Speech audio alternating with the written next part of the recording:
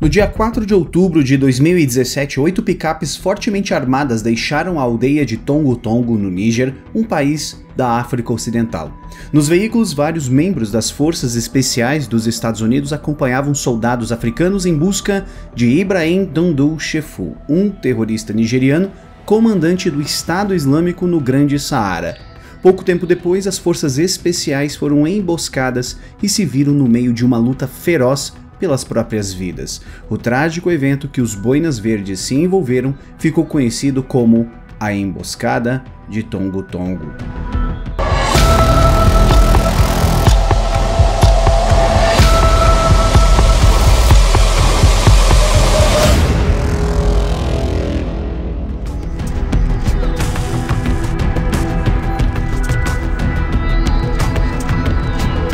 Em janeiro de 2013, Bisa Williams, o então embaixador dos Estados Unidos no Níger, solicitou permissão ao presidente daquele país, Mahamadou Issoufou, para estabelecer uma base de drones no país. Finalmente, em 5 de fevereiro daquele ano, autoridades do Níger e dos Estados Unidos assinaram um acordo militar que permitia a implantação de drones de vigilância desarmados. Ainda naquele mês, o presidente Barack Obama enviou 150 militares ao Níger para estabelecer uma operação de drones de vigilância que ajudaria a França em seus esforços de contra-terrorismo no conflito no norte do país vizinho, o Mali. Neste contexto de cooperação, em outubro de 2015, o Níger e os Estados Unidos assinaram um novo acordo militar comprometendo os dois países a trabalharem juntos na luta contra o terrorismo. Com isso, as forças especiais do Exército dos Estados Unidos, popularmente conhecido como Boinas Verdes, foram destacadas em várias ocasiões para treinarem membros das Forças Armadas do Níger na luta contra terroristas de países vizinhos. Em outubro de 2017, havia cerca de 800 militares dos Estados Unidos no Níger, a maioria trabalhando para construir uma segunda base de drones dos Estados Unidos e da França em Agadez. As expectativas eram de que a construção da base seria concluída em 2018, o que permitiria aos americanos conduzirem operações de vigilância com drones MQ-9 Reaper para monitorarem os insurgentes do ISIS que fluíam para o sul e outros extremistas que fluíam para o norte da região do Sahel. Em 2 de outubro de 2017, uma equipe do terceiro grupo de forças especiais, baseado em Calan, na região oeste do Níger, recebeu informações de um subcomandante de alto valor do Estado Islâmico do Grande Saara em sua área de responsabilidade. Seguindo essa informação, a equipe apresentou um plano de missão para as proximidades de Chiloa no dia seguinte. O plano que a equipe apresentou não descrevia com precisão a intenção da missão, descrevendo-a apenas como reconhecimento em vez do objetivo real que era localizar e capturar ou, se necessário, matar o subcomandante terrorista. O plano da missão foi avaliado e aprovado pela Base de Operações Avançadas do Níger e também pelo Comando de Operações Especiais. Com isso, no dia 3 de outubro de 2017, às 5h59, uma equipe de 11 pessoas, compostas por oito operadores das Forças Especiais dos Estados Unidos, dois de apoio e um agente contratado de inteligência acompanhando 35 nigerianos do Batalhão de Segurança e Inteligência, além da 433ª Unidade Especial de Interdição partiram para as proximidades de Chiloa em um comboio de oito veículos. Os americanos viajaram em dois veículos técnicos, ou seja, um veículo civil adaptado para o combate e um Toyota Land Cruiser não blindado, enquanto os nigerianos viajaram em cinco veículos, um dos quais fornecido pela CIA e com equipamento especializado de vigilância a bordo. Em Tiloa, a equipe não conseguiu localizar o comandante do Estado Islâmico e iniciou o seu retorno à base. No caminho de volta, a equipe recebeu uma informação sensível notificando que o comandante estaria se dirigindo para o noroeste de Tiloa, rumo à fronteira com o Mali. O plano de missão original exigia a presença de uma equipe de helicóptero com força primária junto da equipe de operadores especiais, servindo como uma força de reação rápida. No entanto, o mau tempo forçou a equipe de helicóptero a cancelar, forçando a equipe especial a continuar por conta própria. Durante a madrugada do dia 3 para o dia 4, a equipe se dirigiu para o norte e alcançou o ponto onde supostamente o líder terrorista estaria. No local, descobriram que um combate já havia ocorrido ali, e enquanto a equipe especial americana procurava por informações, eles descobriram equipamentos, uniformes e uma motocicleta inimiga destruída por soldados nigerianos aliados. Após a conclusão sem sucesso desta segunda missão, a equipe recebeu ordem de retornar à base. Antes de partirem, o comandante da equipe ordenou que a aeronave de inteligência, vigilância e reconhecimento que os acompanhava continuasse a monitorar a área a fim de reunir informações sobre possíveis rotas inimigas que levam ao Mali. Isso deixou a equipe de operadores especiais sem vigilância enquanto partiam para Tongo Tongo às 8h30 da manhã. Às 10h30 do dia 4 de outubro, o comboio parou na aldeia de Tongo Tongo para que os parceiros nigerianos pudessem tomar café da manhã e pegar água. Neste período, os membros da equipe americana se reuniram com os líderes locais e 27 homens daquela aldeia. Ficou claro nesta reunião que os líderes das equipes dos Estados Unidos e do Níger se opuseram àquela tarefa, isso porque não estavam devidamente preparados para um combate intenso caso encontrasse os combatentes do ISIS sozinhos, e que as preocupações dos líderes das equipes foram anuladas por uma ordem superior. Neste momento, os soldados americanos foram divididos em dois grupos. Um ficaria na retaguarda e guardaria os veículos, e outro que acompanharia aquela reunião. A contragosto das forças americanas, a reunião se arrastou com os líderes locais atrasando a partida dos soldados, protelando-os e mantendo-os ali. O grupo que guardava os veículos começou a suspeitar de que algo estava errado quando presenciou a saída de duas motocicletas da vila.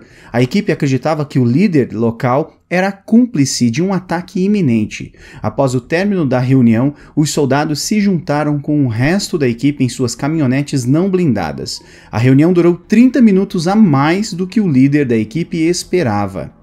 O comboio de oito veículos deixou a vila às 11h35 da manhã em sua rota planejada de volta à base. A apenas 100 metros para fora da vila, terroristas armados do Estado Islâmico liderados por Dondou Shefu, de codinome Naylor Road, começaram seu ataque contra a retaguarda do comboio. Os terroristas, que chegaram com 12 veículos adaptados e cerca de 20 motocicletas, estavam equipados com armas pequenas, metralhadoras pesadas montadas em seus veículos, RPGs e alguns morteiros. Os terroristas permitiram que o comboio se movesse pela chamada Zona da Morte antes de atacar, prendendo a retaguarda do comboio americano na linha de tiro. Enquanto a força inimiga montava suas posições e avançava pela linha das árvores, o comboio parou. Os veículos da retaguarda ficaram sob fogo inimigo em uma emboscada bem preparada. O fogo estava fraco no início, mas ficou mais forte quando chegaram à pequena floresta. Para conter o inimigo, os soldados pararam e desembarcaram sob fogo de cobertura de metralhadoras M240 montadas nos veículos. O líder da equipe dos Boinas Verdes então formou um esquadrão com quatro soldados nigerianos e enfrentou as forças inimigas, matando quatro insurgentes. Uma vez que a ameaça inicial fora eliminada, no entanto, eles notaram algo muito mais preocupante. Os terroristas que eles haviam acabado de enfrentar eram apenas a unidade de reconhecimento das forças inimigas atrás deles. Quase 100 outros inimigos avançaram em motocicletas e picapes equipadas com metralhadoras, morteiros e outras armas pesadas. O líder da equipe, reconhecendo o perigo, correu de volta ao comboio e ordenou que seus soldados se retirassem o mais rápido possível. No entanto, como a maioria das forças estava espalhada, a evasão foi atrasada e desordenada. No meio deste caos, três boinas verdes que já haviam dado cobertura para a retirada de seus camaradas, de repente se viram sozinhos no campo de batalha. Eles eram Brian Black, Jeremiah Johnson e Dustin Wright. As três forças especiais agora enfrentavam quase 100 inimigos e não tinham armas pesadas ou apoio aéreo disponível. Seguindo o princípio de fogo e movimento, eles tentaram se desvencilhar, mas os combatentes do Estado Islâmico eram mais rápidos e numerosos. Apesar do fogo defensivo preciso dos boinas verdes, eles estavam se aproximando cada vez mais. Cada metro ganho permitia ao inimigo enfrentar as forças especiais de forma ainda mais eficaz. Brian Black foi o primeiro soldado a ser atingido enquanto corria ao lado do veículo em movimento para fornecer cobertura de fogo para seus companheiros.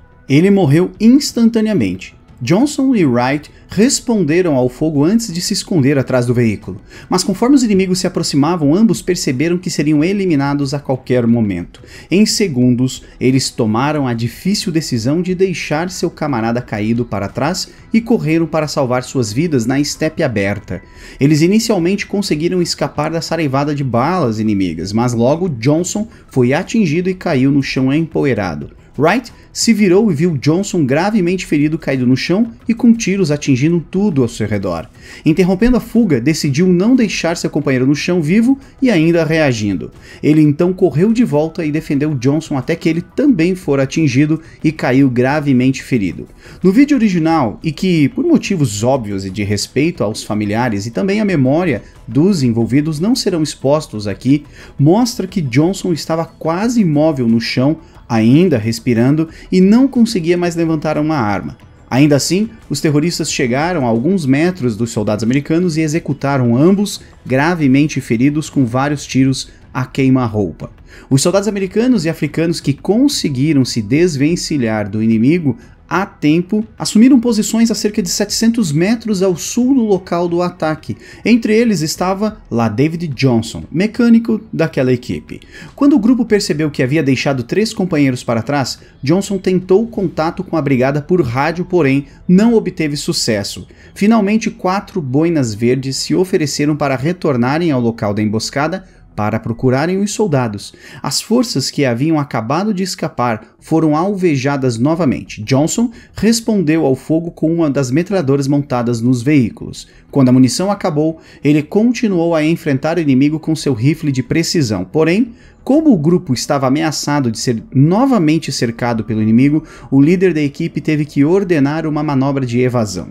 Pela segunda vez, os veículos começaram a se mover e fugiram em alta velocidade para escapar dos disparos inimigos. No processo, eles deixaram Johnson e dois dos soldados africanos para trás, presumindo que se juntariam ao comboio logo em seguida. No entanto, o fogo inimigo tornou-se tão intenso que Johnson não conseguiu entrar na caminhonete que estava posicionada com o lado do motorista voltada para o inimigo. À medida que os insurgentes se aproximavam, os três soldados não tiveram escolha a não ser fugir a pé pela savana. Eles correram o mais rápido que puderam. Os inimigos alcançaram a caminhonete vazia, reconheceram os soldados em fuga e imediatamente os perseguiram com os seus veículos. Os soldados africanos percorreram cerca de 400 metros antes de serem capturados e mortos. Lá David Johnson, que tinha uma resistência física muito desenvolvida devido ao seu bom treinamento, conseguiu correr quase um quilômetro do inimigo antes de tomar sua posição final em um pequeno arbusto espinhoso. A partir dali, ele lutou ferozmente com vários inimigos, mantendo-os afastados com sucesso. Porém, o mecânico tinha apenas seu fuzil de assalto e nenhuma arma pesada.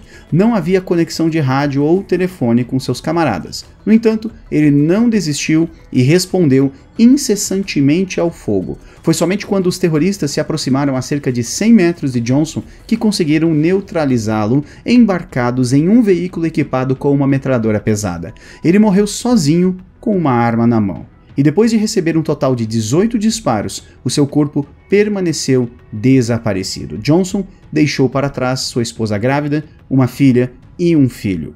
Enquanto a força principal do destacamento operacional Alpha tentava escapar das forças inimigas, eles foram atacados por fogo pesado que resultou na morte de um soldado nigeriano, enquanto o líder e o sargento da equipe americana sofreram vários ferimentos à bala.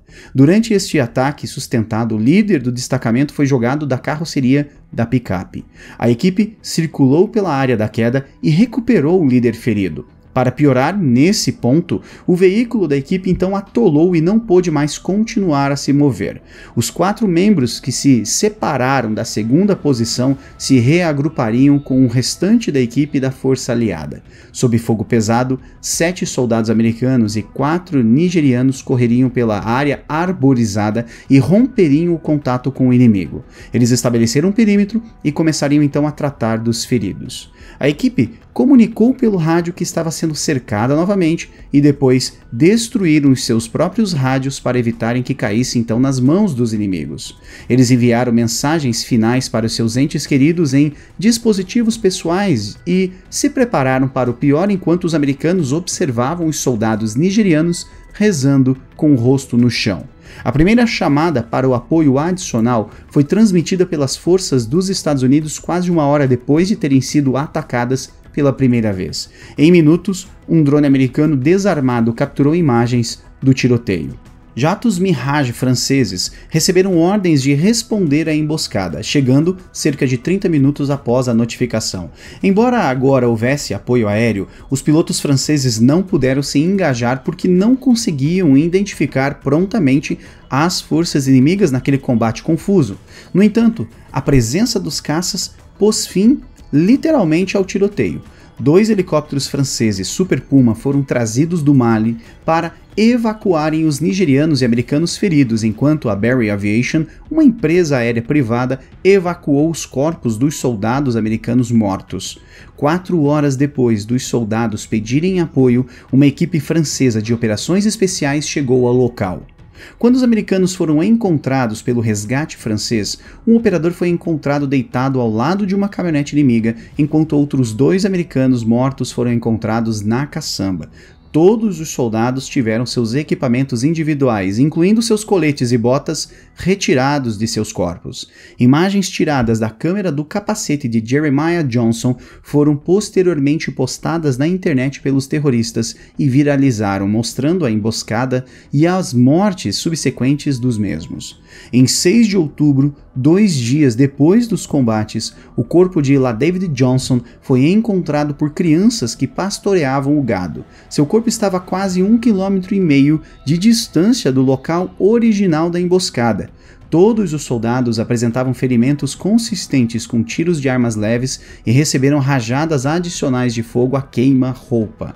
Entre os nigerianos, cinco foram mortos e oito ficaram feridos. Dois soldados americanos feridos na emboscada foram transferidos para o hospital militar na Alemanha. Um alto funcionário da inteligência dos Estados Unidos disse à ABC News que pelo menos 21 terroristas foram mortos naquele dia todos enterrados do lado maliano da fronteira. Neste processo doloroso para as forças especiais americanas, Michael Perazini e Brent Bartels foram os líderes que atuaram diante da equipe morta nesta emboscada. Além de seus camaradas americanos, eles também coordenavam os soldados africanos. Mesmo antes da emboscada, eles expressaram sua preocupação com a operação, porque não tinham armas pesadas ou apoio aéreo. Além disso, eles estavam no campo há muito tempo e precisavam desesperadamente descansar, reequipar e reabastecer seus suprimentos. No entanto, a alta liderança os exortou a continuarem a busca pelo líder do Estado Islâmico, mesmo após os Boinas Verdes e seus aliados anteriormente terem sido atacados e escapados duas vezes, para evitar então serem encurralados pelo inimigo naquele momento. Nas semanas que antecederam a fatídica emboscada, a unidade estava sendo caçada pelos terroristas em maior número e fortemente armados, o que resultou no caos completo quando o ataque começou. A maioria das forças africanas haviam fugido no momento da emboscada e durante o evento apenas sete estavam em um dos veículos perseguidos pelos terroristas. Quatro soldados africanos foram mortos e o motorista daquele veículo foi ferido no cotovelo, mas ignorou a dor e continuou dirigindo. No caótico dia e diante das mensagens pessoais enviadas pelos operadores emboscados, outras forças especiais estacionadas na África ouviram sobre a situação desesperadora de seus camaradas e pediram para seus líderes que os ajudassem. Um grupo de boinas verdes até embarcou em um helicóptero contrariando ordens diretas sem esperar por nenhuma direção para voar para o local do ataque, mas teve que voltar quando os comandos franceses entraram em cena. Dustin Wright e lá David Johnson receberam póstumamente a Estrela de Prata, enquanto Brian Black e Jeremiah Johnson receberam a Estrela de Bronze. Os soldados africanos também receberam prêmios. Dois nigerianos receberam estrelas de bronze por suas ações durante a emboscada. O primeiro soldado ajudou na bem-sucedida manobra de flanco aos terroristas, enquanto o segundo nigeriano se expôs voluntariamente ao fogo amigo para alertar seus camaradas sobre o andamento da ação. O funeral dos soldados americanos mortos foi assistido por milhares de pessoas em rede nacional.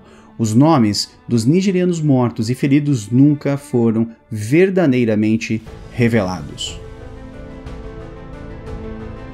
E todo o material que você viu neste vídeo pode ser encontrados também nestes livros que nós deixamos como dica para você, seguidor do Almanac Militar. Fica aqui o nosso muito obrigado por sua audiência, um grande abraço e até a próxima.